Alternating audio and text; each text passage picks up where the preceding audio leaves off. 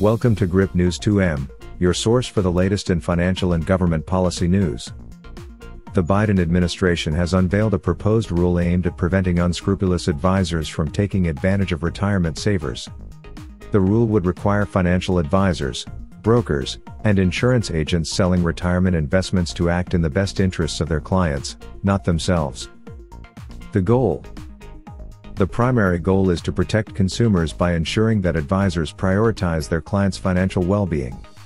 President Joe Biden emphasized the need to safeguard retirement savers, highlighting that while many advisors offer honest and fair advice, there are exceptions. Some advisors prioritize their profits over the best interests of their clients, Standardizing rules. The proposed rule seeks to standardize rules for those providing retirement advice and selling retirement products.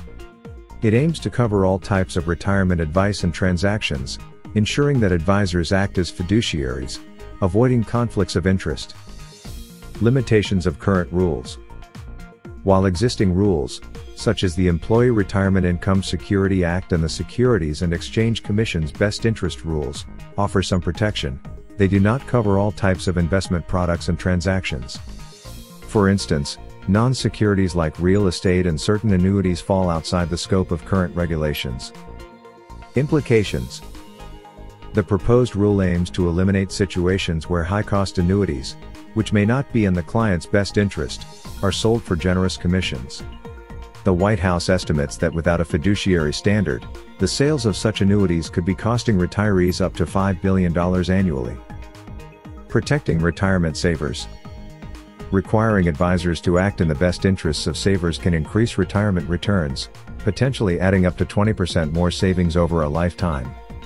This could save middle class savers tens or even hundreds of thousands of dollars that might have otherwise been lost to junk fees. Industry response While the proposed rule is a positive step, it is expected to face industry opposition. Some financial organizations argue that regulations already address conflicts of interest, but proponents emphasize the need for a consistent standard to protect consumers nationwide. Next steps After the proposal is published, there will be a 60 day period for public comments and potential revisions before finalization. Stay tuned for updates on this important development.